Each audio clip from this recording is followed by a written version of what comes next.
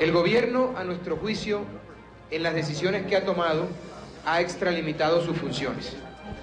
No solamente está legislando en materia penal, situación que le está prohibida por mandato expreso de la ley, y obligación que recae única y exclusivamente en nuestro poder legislativo, que dicho sea de paso, nos ha citado eh, a las 4 de la tarde al Congreso de la República, a la plenaria, para que, para que hacer una intervención sobre este asunto que se ha convertido en un, un asunto de primer orden a nivel nacional. El presidente de la República y sus ministros, quienes han firmado esos decretos, han extralimitado sus funciones por la simple y sencilla razón de que el gobierno no puede legislar. El gobierno no tiene atribuciones en virtud de la Constitución y la ley para determinar, por ejemplo, la prohibición de la libre empresa, la prohibición de la retroactividad de la norma penal más favorable. Ese es un principio fundamental, no solamente en la legislación, en la legislación colombiana, sino en las legislaciones de todo el mundo, con excepción de algunos regímenes totalitarios en donde se desconoce esa posibilidad.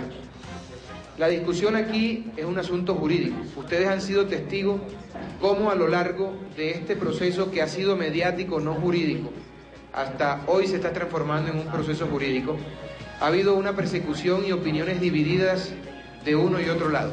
Recordarán ustedes el episodio de la semana pasada donde el general Naranjo aseguró tener pruebas para encarcelar a los miembros del grupo DMG desconociendo de contera con ello que esa atribución no le ha sido asignada a la policía por mandato de la ley. El fiscal general de la Nación salió a desmentirlos, argumentando de que no había pruebas contra DMG. Y a nosotros no nos, no nos asusta el hecho de la investigación. Estamos dispuestos a acudir ante los tribunales competentes para que sea un juez de la República quien determine si aquí hay delito o no. Nosotros, desde nuestro punto de vista jurídico, tenemos perfectamente claro que no existe en el acervo probatorio ninguna prueba que permita determinar en grado de certeza que aquí hay una responsabilidad penal por parte del grupo DMG por cuenta de la operación financiera que desarrolla.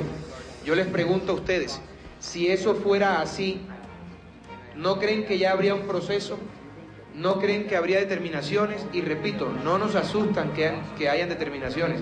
El señor Murcia no está aquí hoy simplemente por problemas de seguridad, pero en el momento en que una autoridad judicial lo requiera, aquí estará.